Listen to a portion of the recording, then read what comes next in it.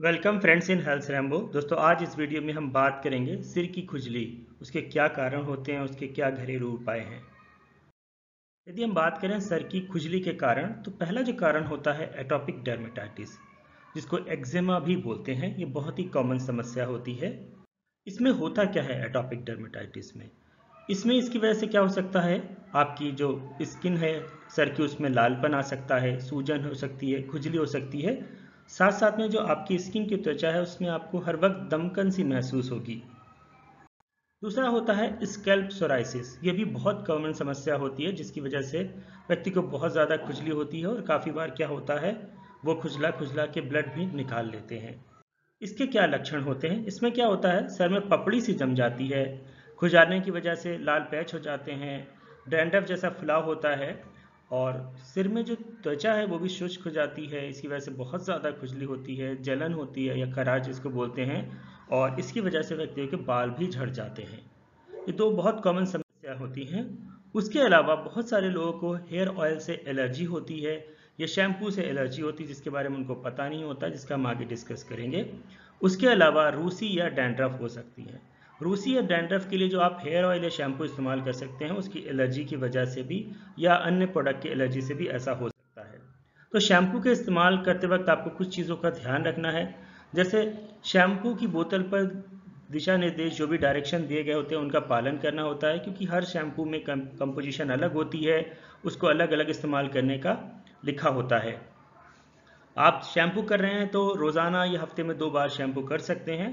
उसके अलावा आप डेली जो नॉर्मल शैम्पू है वो करें। रोज़ाना जो है वो वाला शैम्पू का इस्तेमाल ना करें। उसके अलावा डैंड्रफ शैम्पू का इस्तेमाल करते समय याद रखें, जिसमें कोल्टार वगैरह है, उसका इस्तेमाल डॉक्टर के सजेशन पर ही करें।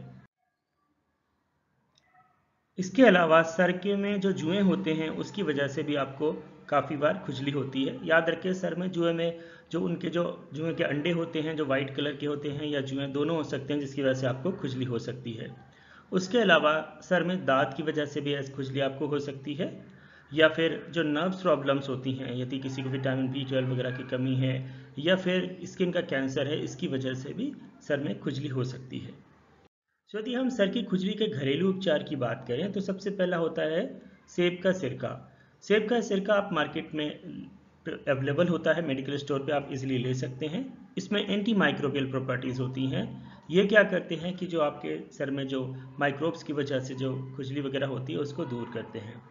उसके अलावा जो नेचुरल नारियल कोकोनट ऑयल तेल होता है, इसके अंदर एंटी इन्फ्लामेटरी प्रॉपर्टी होती है मतलब ये सूजन को कम करते हैं, जिसकी वजह से खुजली भी कम होती है।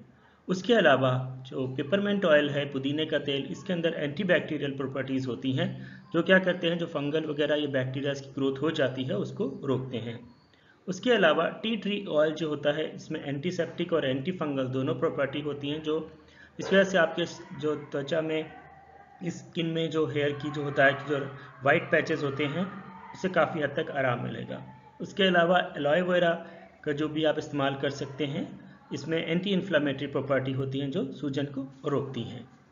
या फिर आप बेकिंग सोडा और ऑलिव ऑयल दोनों का कॉम्बिनेशन का इस्तेमाल कर सकते हैं, जिसमें एंटी फैंगल और एंटी बैक्टीरियल प्रॉपर्टीज़ होती हैं।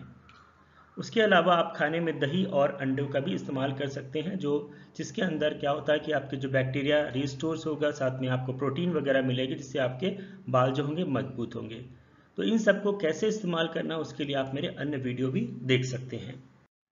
यदि हम बात करें कि आपको सर को खुजली के लिए कौन से डॉक्टर्स को दिखाएँ, कौन से डॉक्टर इसका कंप्लीट ट्रीटमेंट करेगा, यदि आपका नेचुरल तरीके से सही नहीं होता है तो उसके लिए आपको जो डर्मेटोलॉजिस्ट होते हैं, जिनको स्किन स्पेशलिस्ट बोलते हैं, उनको आपको दिखाना होगा कंप्लीट ट्रीटमेंट के लिए।